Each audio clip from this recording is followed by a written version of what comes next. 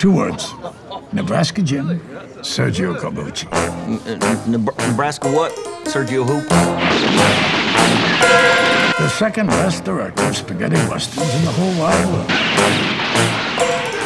I had it in my mind that I wanted to write uh, a book on Sergio Corbucci.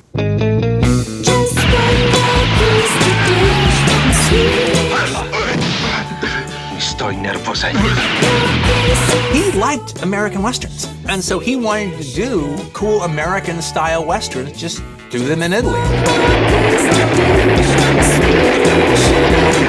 This western director created the most violent West possible. As violent as the real West was, Corbucci's West was more violent. Ti piace il western? Sì. Sì. Quali tipi di western? A noi ci piace il sangue, ci piace vedere quando è che fanno a botte, così. Ecco, va bene. Va bene? Quante ne ammazziamo oggi?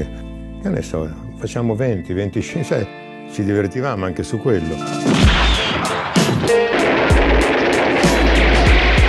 Bolognini mi ha insegnato l'eleganza, Rossellini mi ha dato il racconto e la curiosità mi ha data tutta Sergio Corbucci.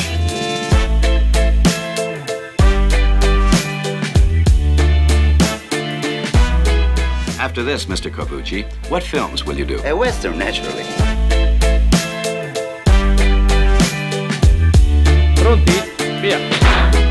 Va bene. Va bene?